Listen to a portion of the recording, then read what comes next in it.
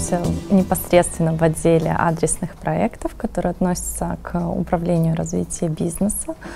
Здесь работает основная команда, которая занимается как э, работой с новыми заказчиками, так и ведением тех проектов, которые уже некоторое время у нас в работе. В этом кабинете находится около 13 человек. Но это не вся команда, которая занимается вообще адресными проектами. Часть э, у нас находится не в Минском офисе, потому что мы работаем и с другими странами. В общем-то, мы настраиваем сейчас работу таким образом, чтобы было хорошее взаимодействие и учитывая всю ситуацию в мире и во всем, чтобы все можно было делать отсюда, но на местах у нас тоже были определенные возможности.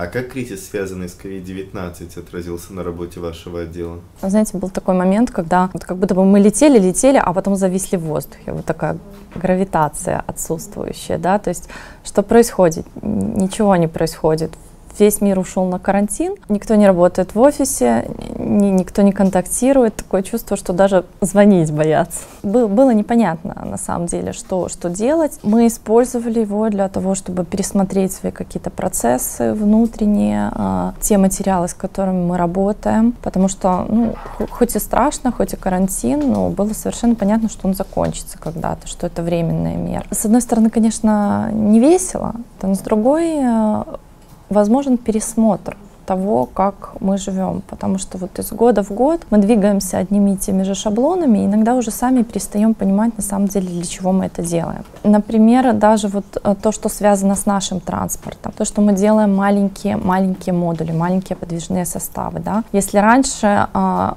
очень часто нам задавали вопрос, ну, почему такие маленькие, да, вот же метро, поезда, железная дорога, поезда, все поезда, то сейчас, наоборот, спрос на вот эти вот маленькие, можно сказать, индивидуальные транспортные средства, он резко возрос. Люди вдруг осознали, что действительно а, так безопаснее, так, так удобнее, так комфортнее. Я очень просто все объясню. А, население планеты сейчас более 7 миллиардов. Эта цифра увеличивается, людей становится больше. Урбанизация сейчас уже более 50%. И опять-таки этот процесс нарастает, людей в городах становится больше. Все проблемы, связанные с тем, что в городах больше людей, это загрязнение, это время а, путешествия от пункта А до пункта Б, это увеличивающаяся психологическая нагрузка, стрессовое состояние людей, это тот же риск заражения и инфекций, с которыми мы сейчас столкнулись. Все это увеличивает спрос на новый разумный транспорт. То есть если очень простую диаграмму создать и посмотреть, в любом месте мира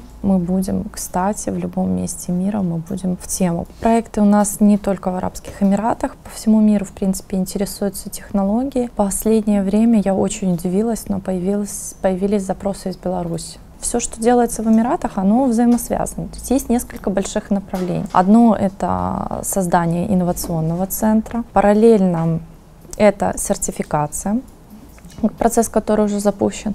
И третье большое направление — это проекты. Все между собой идет параллельно в работе, но связано, потому что то, что мы строим и сертифицируем, мы это делаем не просто так, мы это делаем с пониманием того, на какие проекты мы хотим выйти. Я вижу некоторые плюсы в том, что происходит. И ситуация такова, что при пандемии, когда э, закрываются, допустим, границы, когда люди садятся домой на карантин, все равно существует передвижение грузов. Раньше это перевозили, например, грузовым транспортом машины, которыми управлял человек. Пандемия, все сидят дома. Твоя транспортная система, весь твой бизнес, все зависит от людей, которые заболели и не могут прийти на работу. Поэтому тоже такой пересмотр в сторону, наверное, всего, что не связано с людьми, в сторону автоматизации, возможности разделить людей между собой. В принципе, все то, чем мы занимаемся уже несколько лет, то, что мы реализовываем без присутствия человека. То есть а, это очень большая защита бизнеса, транспорта от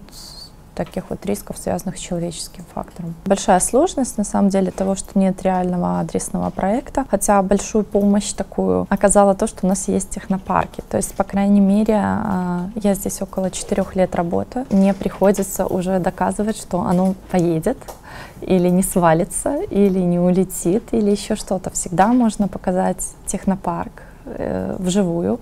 То есть есть все равно категория заказчиков, которые вот ждут, пока мы сделаем какой-то первый проект. Возможно, пандемия ускорила процесс их созревания морально к тому, что, может быть, не нужно ждать, э, может быть, пока мы ждем, мы уже что-то упустим. Сейчас как-то изменился характер вопросов, изменился подход ты уже больше чувствуешь, что именно хотят построить. У нас глобально есть идея создания сети Transnet. Чтобы все это грамотно функционировало, чтобы все это связать воедино, наши разработчики пользуются системами блокчейн. Это в том числе нас э, защищает, э, делает процессы прозрачными и дает довольно большое количество функций того, что мы хотим сделать. То есть тот функционал, который лежит в нашей транспортной системе, служит для э, обеспечения вообще деятельности транспорта от того, как он движется, того, как все происходит на станциях и так далее. Это одна функция. Вторая функция,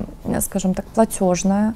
А, билеты, оплаты различных услуг, все, что можно отнести к этой категории. И третья функция — это функция мгновенной оплаты и перераспределения ресурсов внутри сети. Для того, чтобы все эти функции реализовать, должно быть платежное средство внутри. Сейчас мы уже выпустили utility токен э, SWG, но он существует с ограниченным функционалом. Он бы мог служить средством оплаты услуг, в том числе в будущих транспортных системах. Это в будущем. А сейчас он еще не реализован в том виде, в котором он должен быть. Тут очень много на самом деле причин, и опять-таки без пандемии здесь не обошлось, и юридически все меняется. Не, не простая эта задачи. Но в любом случае мы поставили себе большую цель создания сети Transnet. Для того, чтобы она функционировала так, как мы задумывали, так, как мы ее создаем, нам нужна будет криптовалюта. То есть работа в этом поле, она все равно ведется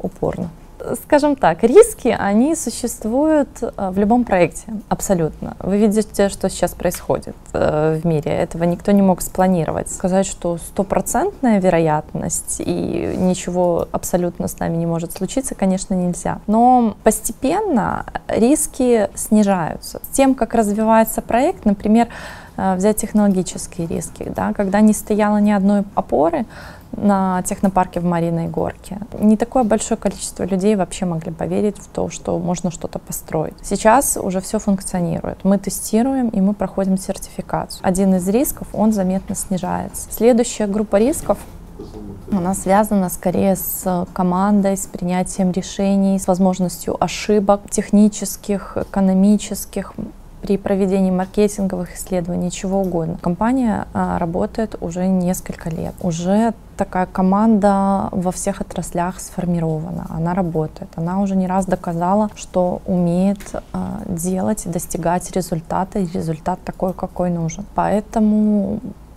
тут тоже больших поводов нам не доверять, кажется, мы не давали еще. Просто технология, она постоянно находится в каком-то процессе совершенствования. Что-то появляются новые идеи, появляются новые материалы, появляются методы работы с этими новыми материалами. Что-то становится легче, что-то становится дешевле. Зафиксировать технологию в каком-то вот одном состоянии и все, и дальше ее не развивать, это значит очень сильно ее начать обесценивать. Технология развивается с какими-то определенными целями. Она не развивается сама сама по себе просто. Она развивается для решения каких-то задач или проблем. Эти проблемы помогают понять как раз-таки наши проекты. То есть есть проект, есть запрос на определенное технологическое решение. Иногда нам приходится что-то новое придумывать именно под конкретно этот проект. Есть требования климатические, есть требования пользовательские, скажем, особенности в разных регионах. Все эти требования от проектов, они позволяют и совершенствовать саму технологию. Плюс в перспективе каждый новый проект, он увеличивает стоимость компании и, по сути, стоимость и самой технологии, подтверждая ее. Это все складывается, складывается вместе, поэтому проект и технология — это такой симбиоз, который будет только увеличивать ценность вообще того, того, что мы делаем. И проектов, и технологий взаимно.